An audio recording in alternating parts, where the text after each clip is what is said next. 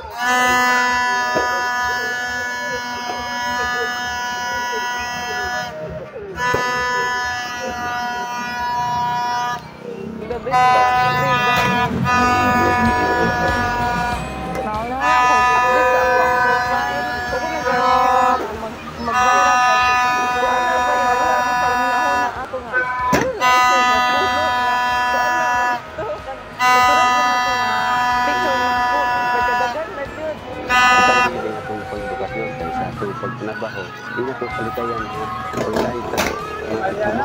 Proud kay kumingo. Nang kamot ka para namo. Inspiration kay siya na napo. Basta, hindi na, hindi na pa. Hindi na tabog punong. Lalo na ko sa pamilya. Siya kao doon sa amin. Basta kay labing. Anay mo kao na magula.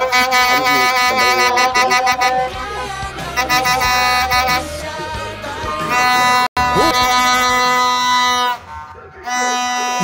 Puso nating i-welcome ang 2023 na full of love, happiness, at hope. Happy New